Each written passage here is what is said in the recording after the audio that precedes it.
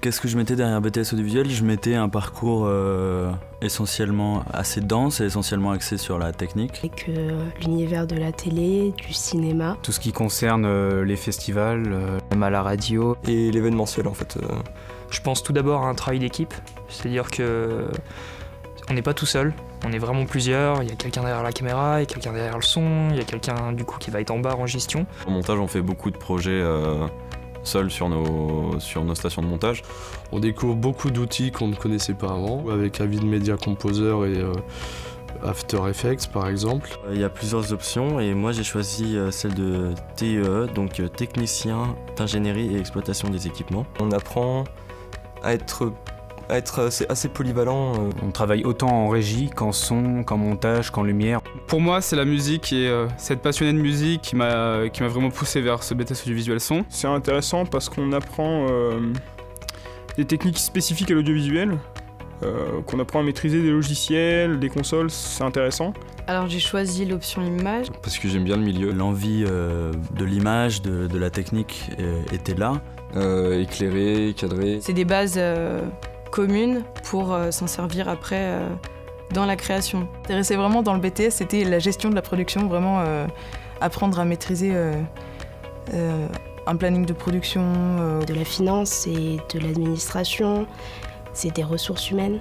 Apprendre à faire aboutir un projet. Et oui, on est tout le temps sur l'ordinateur, on fait de la paperasse, mais euh, c'est de la paperasse importante. Quand même, deux ans, c'était assez rapide. Du coup, on a beaucoup d'informations à assimiler en peu de temps.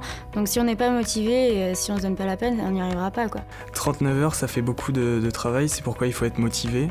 Après, c'est un rythme à prendre. Avec des cours euh, théoriques et des cours aussi pratiques dans nos spécialisations. Alors, quel statut j'ai euh, Je suis alternant, c'est-à-dire que j'alterne entre euh, le BTS et l'entreprise. C'était très compliqué de trouver un employeur, c'est la principale difficulté pour moi. Après, c'est sûr que l'alternance, ça peut être compliqué au niveau des logements. Si par exemple on n'habite pas forcément au même endroit, la transition entre les deux peut être compliquée. Je pense que financièrement, c'est intéressant d'être en, d'être en entreprise. En tant que contrat pro, moi je, et parce que j'ai 22 ans, je suis rémunéré à 920 euros net par mois sur deux ans. D'être, euh, d'être mélangé avec des formations continues et des formations initiales, c'est, un, c'est plutôt un avantage, je dirais, parce que ça permet aussi de, demander à, à, d'autres de nous aider si on a des difficultés, d'aider les autres si on a, si on a un peu d'avance par rapport à eux. La mixité par rapport au contrat alternant, apprenti, formation initiale, quand on est en cours, on la, on la ressent pas trop. Ça, nous, ça, ça nous pose pas forcément de problème. Je vois pas de, je vois pas de différence à être mélangé avec euh, les autres, euh, les autres options ou les autres euh, apprentis, puisqu'on a, on suit à peu près les mêmes cours. Les stages, c'est compliqué à trouver. Il faut aller vers les personnes et pas juste envoyer une lettre de motivation, parce qu'elle va passer à la trappe en fait. Il faut aller rencontrer les, les personnes, que ce soit au téléphone ou en vrai. Bah, le puits en velay, quand je suis arrivé, ça m'a fait un peu peur, on va dire. Avant d'arriver ici, j'avais jamais entendu parler du Puy-en-Velay. C'est la campagne comparée à Lyon, Paris, Saint-Étienne. Le Puy, c'est une ville assez festive. Ouais, moi j'apprécie beaucoup le Puy-en-Velay. Au niveau de ça, on est très partagé dans le BTS en fait. À taille humaine, je dirais, contrairement aux grandes métropoles qu'on peut trouver, euh, qui sont quand même très étouffantes. C'est une petite ville coquette.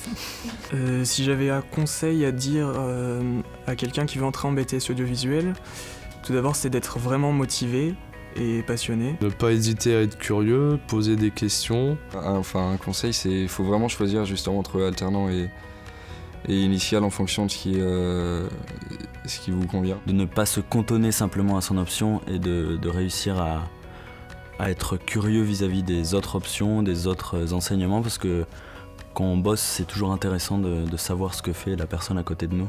Et puis, euh, s'il cherche une alternance, de vraiment s'y prendre euh, assez tôt faut avoir envie, il faut être passionné et motivé, c'est plus important.